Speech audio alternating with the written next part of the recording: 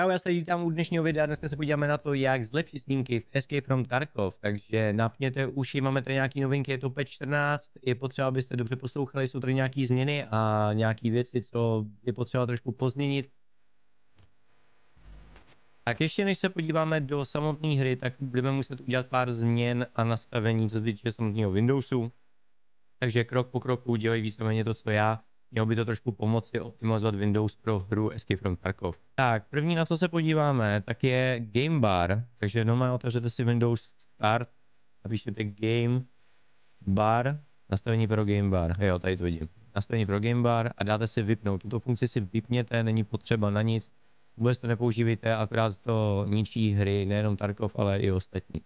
Pak tady máme ještě další věc, což by mělo být Game Mode zapnout herní režim a ten si určitě zapněte, optimalizuje to Windows, protože když hrajete, tak aby to všechny ostatní jakoby aplikace na pozadí potlačilo, tím pádem byste měli mít plynulejší hru. Jako další se podíváme na grafické nastavení.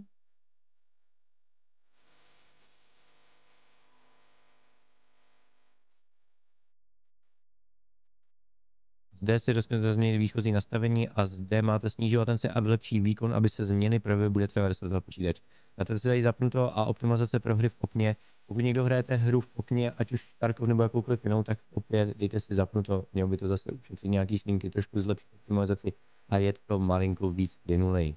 Jo? Každopádně tohoto nastavení se projeví až po samotném restartování počítače, takže samozřejmě doporučuji, až se to tady všechno spolu nastavíme, abyste restartovali počítač, zapnuli hru a pak až teprve uvedli se do chodu. Tak uh, tady jsme skončili potom. Pokud používáte NVIDIA grafický, uh, grafický ovladač, tak si otevřete GeForce Experience, automaticky vás to navede sem domů, dáte si ovladače, zkontrolujete si, jestli máte nejnovější grafický ovladače, pokud ne, tak stáhněte, nainstalujte. To samé platí i pro uh, uživatele, jak se tomu říká tomu, AMDčkových grafik, to jsem taky kdysi měl, AMDčkových grafik, takže pokud máte ovladače na AMDčko, tak stačí zase jenom zkontrolovat aktualizace, stáhnout a nainstalovat tu nejnovější. Vždycky to pomůže, samozřejmě některé ty uh, aktualizace, hlavně teda u AMD, jsou horší, každopádně u NVIDIA by se to stát nemělo. I jinými slovy, pokud se něco pokazí v NVIDIA, tak do druhého dne je hnedka hotfix. Jo, takže udržujte ty grafické ovladače uh, co nejvíc aktuální, jinak by to nemělo žádný smysl. Co se týče ještě samotného Windowsu, podíváme se do napájení. Takže upravit schéma napájení, nastavení, nastavení, tady nastavení napájení a zde režim napájení, dejte si co nejlepší výkon, je to hlavně pro ty, co hrajete na noťasu. Pokud hrajete na noťasu, určitě nejlepší výkon, pokud hrajete na stolním počítači, můžete to klidně nechat na rovnováha, nebo si taky dejte ten nejlepší výkon, ale tady ten boost nebude takový, jako kdybyste hráli na tom noťasu. Tak a jako poslední, co byste mohli ještě udělat ve Windowsech, tak je stáhnutí si programu ESCLI, Mělo by to pomoci na ramky. Doporučuji to všem, co máte 16 GB RAM, případně 32. Pokud máte víc, není to úplně potřeba, nepotřebujete, ale samozřejmě pokud si to dáte, tak vám to taky ještě trošku zlepší performance v té hře.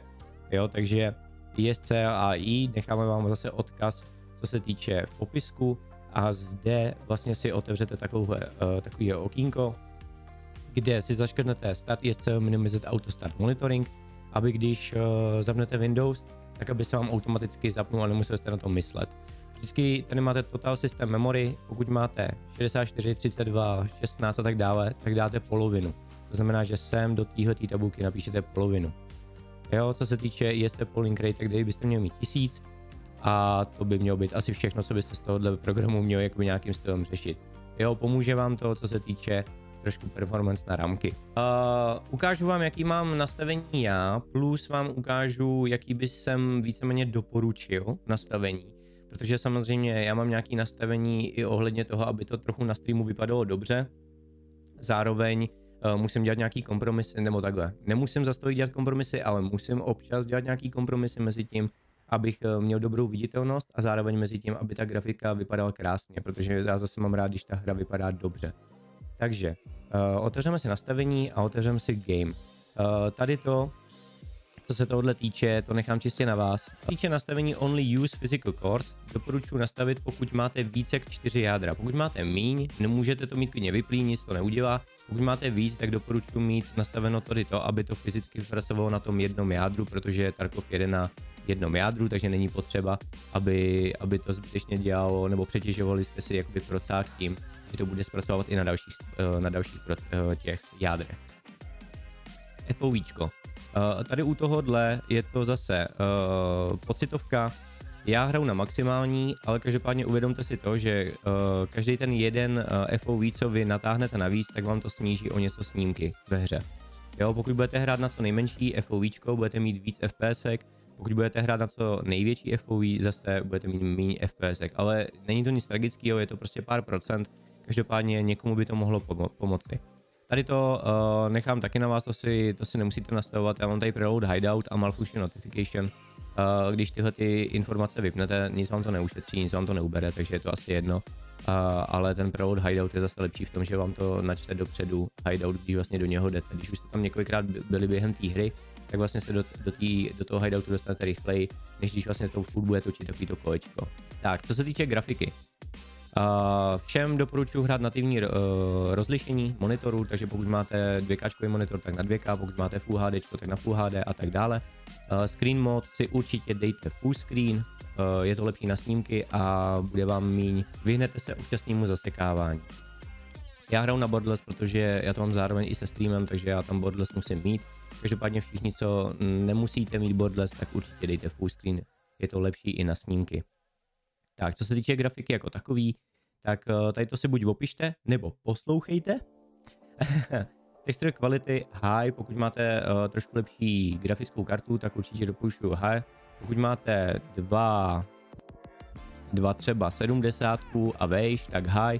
Pokud máte něco míň, tak samozřejmě si dejte medium a low a tak dále. Je to spíš jako, že se to vyzkoušíte podle toho, co vám víc pomůže na grafiku. Uh, shadow quality dávám low, doslova nevidím skoro žádný rozdíl mezi těmihle třemi. Jediný co, takže uh, to trošku ubírá performance jo, ale co se týče jakoby kvality toho stínu, tak nevšiml jsem se skoro žádného rozdílu. Zase záleží, jak moc si všímáte stínění různých stromů, budov a tak dále. Object lock quality, uh, tady mám kompromis uh, 2,5. Myslím si, že to je nejlepší mezi snímkama a mezi, mezi kvalitou. Uh, nedoporučuji úplně to nejvyšší, docela to žere uh, snímky, třeba 5-10, takže třeba těch 2,5 bych si nechal. Overall Visibility. Stačí vám 400 nebo 1000. Pokud potřebujete silně uh, zatížit uh, buď procák nebo grafiku, tak si to klidně dejte na max, ale nechal bych to na 1000 nebo 400, protože všechny ty mapy víceméně fungují na tisícovku max. Jo? Víc nepotřebujete, takže nechte maximálně 1000, pokud to někomu uh, žere víc snímků, tak si dejte třeba 400. Jo, já hraju na tisícovku, ale jak říkám, je to takový ten kompromis mezi tím, že abych měl jakoby dobrou viditelnost a aby to bylo jakoby, vypadala ta hra trochu líp. Tak, co se týče anti-aliasingu. Někomu tohoto třeba může vadit, uh, TA a TA high. Slabším počítačům doporučuji TAčko, uh, silnějším zase high. Uh, je to malinko rozmazanější, takový jakoby blurry efekt, ale uh, když se na to zvyknete, tak ta hra vypadá vlastně líp. Uh, spousta lidí hraje FX Ačko, což vlastně vám vytáhne takový ty textury v té hře. Každopádně mě to zase bolí pak na oči, takže já radši používám spíš to rozmazanější, ale myslím si, že tady s tím tím nastavením ta hra vypadá daleko lépe. Samozřejmě můžete si to i vypnout, ušetříte nějaký snímek a co se týče jakoby celkově tady tohodle, tak vy, když si vlastně pak zapnete Nvidia DLSS nebo AMD, tak vlastně tady ta možnost se vám vypne. Jo, k tomu si ještě teďka povíme za chvilku. Uh, Nvidia DLSS mám off, FSR off a FSR 2.0 off. Jo, resampling, nedávejte si nic jiného než jeden off. Uh, ten, ten zbytek vám akorát reškáluje nebo downscaluje tu obrazovku, je to zbytečný, žere to snímky, nemá to žádný vliv. Vůbec se, vůbec se na to vykašlete se, dejte tam jedenkrát off, nechte to tak, jak to je. Uh, HBO, když si vypnete HBO a dáte SSR, ušetříte snímky. Jo, pokud chcete, aby ta hra trochu vypadala uh, nějakým stylem vizuálně hezky, tak já to mám třeba na Max Performance a Medium, uh, protože mám rád, když uh, se mi tam zrcadlí třeba voda, kaluž vody a tak dále. Působí to na mě líp, ten efekt uh, té hry jakoby fajn. Anisotropic filtering, uh, měl jsem donedávna per texture, mám to teďka vyplý, nepoužívám to.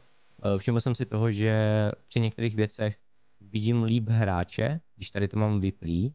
A taky, jsem, taky se mi stávalo, že vlastně jsem viděl na monitoru, jak vlastně mi jde ve spodní liště nějaká taková čára a od té doby jsem si to vlastně vypnul a nemám tam takhle tu čáru. Já, ne, já nevím, jak to popsat, jo. Prostě jdete a teď vlastně se vám vykresluje, uh, vykreslují se vám snímky a dole vidíte takovou čárku, uh, kde vlastně před váma se jakoby objevuje další a další textura.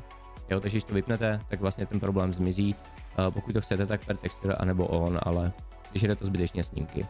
Nvidia Reflex stačí na on, nemusíte mít on plus boost, každopádně zároveň musíte mít vyplý V-Sync, nedoporučuju, Uh, pokud máte NVIDIA, tak uh, jenom on. Zase navýší vám to snímky. Uh, minulý Vibe to nefungovalo úplně dobře, teďka už to je zase opravený, takže nebojte se toho, NVIDIA Reflex, why not? Sharpness, to je preference, jak vám to vytáhne textury a jak to budete mít ostrý tu hru. Já to hraju na nula, protože mám rád, když je to trochu víc blurry, než by mělo. Uh, lobby FPS 60. Co se týče tady toho nastavení, tak high quality color mám zaplý, každopádně pokud to vypnete, ušetří vám to nějakých pár snímků, jo, třeba 2-3. Uh, co se týče ZBlur, Chrome Aberration, Noise, Grass, Shadow, MIP Streaming. Všechny tyhle ty čtyři věci úplně v klidu vypněte. MIP Streaming je dokonce nefunkční, nebo nefunkční, je z poloviny funkční. Občas funguje dobře, občas vůbec. Nedoporučuju to nikomu, aby to měl zaplý uh, v momentální době. A tyhle ty ostatní věci, tak to jsou v podstatě uh, věci, které tam v té hře nechcete. Jo, je to jakoby rozmazání stran, rozmazání okolí, uh, vykresuje to víc strávy a tak dále. Nechcete to tam, chcete víc vidět enemy. Co se týče nového nastavení Streets of Tarkov Lower Texture Resolution Mode, pokud máte slabší uh, kompy, pokud máte 16 GB RAM, uh, případně 32, doporučuji si to zapnout, pomůže to. Samozřejmě ta hra nevypadá úplně dobře, funguje to teda jenom na Streets of Tarkov, budete mít trošku vyblitější textury v té hře, ale ušetří vám to nějaký snímky a pomůže vám to na tu hru se dostat a v klidu uh, odehrát nějaký uh, raidy. Zatímco pokud máte více jak 32 GB RAM, neřešte to, naopak to mějte vyplý. Uh, vyzkoušel jsem i variantu, protože já mám 64 GB uh, DDR5, vyzkoušel jsem to i variantu na svém kompu a naopak mi to ještě víc uh, zasekává tu mapu jako takovou, takže nedoporučuji to mít zaplý, pokud máte více jak 32 GB RAM. Tak, co se týče postefix, tenhle ten white mám vyplý, uh, přidali sníh, takže nepotřebuju, je to až moc přesvícený, takže upravil jsem si jenom barvy na monitoru, takže to záleží jakoby na vás, jak to používáte. Dřív jsem to měl nastavený takhle, takže si to už tak skopírujte, momentálně nepoužívám. Jo, zase ušetřilo to třeba pět snímků, takže why not. Sound. Co se týče binaural audia, uh, minulý Vipe byl problém trošku s tím nastavením, protože to tam přidali, že vlastně když jste to měli zaplý, tak vám to žralo 30 až 40% snímků. Uh, teď už je to momentálně opravený, takže je čistě na vás, jestli to chcete používat nebo ne. Uh, je tam jenom trošku jiná hodnota toho zvuku, takže si to vyzkoušejte spíš, zapněte si, běžte do raidu, poslouchejte zvuky, pak zase uh, vypněte to, běžte do raidu a takhle. Furt to jakoby zkoušejte, jestli, se, jestli vám to vyhovuje nebo ne a podle toho si to zapněte. Jo, co se týče snímků, tak by vám to nemělo teďka vůbec nic dělat, je to opravený. Tak a kontroly řešit asi nemusíme, když tak se mě zeptáte na streamu. Co jsem ještě chtěl říct? Nvidia, DLS a AMD FSR. Ještě k tomu se chci trochu vyjádřit. Uh, celkově ve hře uh, s tímto nastavením mám nějakých 150 až 170 fps, samozřejmě záleží na mapě a na lokaci. Pokud se bavíme třeba o streetech, tak tam mám kolem kila, kila 10, zatímco na ostatních mapách prostě těch 100 je úplně v pohodě zvládne. Každopádně, vyzkoušel jsem DLSS na kvality, balance a performance, doporučuji rozhodně jenom kvality. Pokud zapnete si tuhle tu funkci, uh, tu NVIDIA DLSS, mělo by vám uh, to navýšit o 15 snímků ve hře. A to samý dělá i FSR 2.2, ale líbí se mi míň. Myslím si, že to DLSS funguje teďka daleko lépe než FSR. Jo, takže spíše to pocitově, více mi líbí DLSS a ušetří to 15 snímků. Jo, mám to oskoušený, že já jsem se nedokázal dostat vlastně přes 2 kg snímků, jakmile jsem tohleto zapnul, tu funkci, tak jsem byl na 210-215 snímcích a bylo to jako v pohodě. Jo, je to jenom jediná malinká ta nevýhoda, že vám to trošku uh, ničí texturky, uh, s tím, že bude to malinko, jak to říct, rozmazanější, ale nebylo by to nic proti tomu, že byste třeba méně viděli hráče. To bylo z dnešního videa všechno. Uh, napiš mi prosím tě do komentáře, jestli ti to pomohlo, pokud ne, napiš mi, že ti to nepomohlo. Budu určitě rád za nějakou zpětnou vazbu. Je to nastavení pro trošku slabší počítače, není to úplně pro ty nejsilnější. Každopádně hlavně tady ukazuju svoje nastavení, takže pokud někdo chcete mít nastavení jako já, tak stačí si to jenom okopírovat a hrát podle toho. Většinou to dělám tak, že choďte krok po kroku a vždycky, když vám třeba něco nefunguje nebo vám to třeba víc zasekává hru, tak vlastně zase zpátky to přepněte nebo vypněte tu danou funkci, kterou vy jste si nastavili. Je to to nejjednodušší řešení na to, abyste vlastně uh, dokázali pak zpětně vzít to, co jste si tam nastavili. Jo? Já vám děkuji za to, že jste dokoukali video až do konce. Doufám, že se vám bude dařit uh, v tomto vajpu. Uh, je absolutně super, doufám, že i vám se líbí a uvidíme se již jako dalšího videa.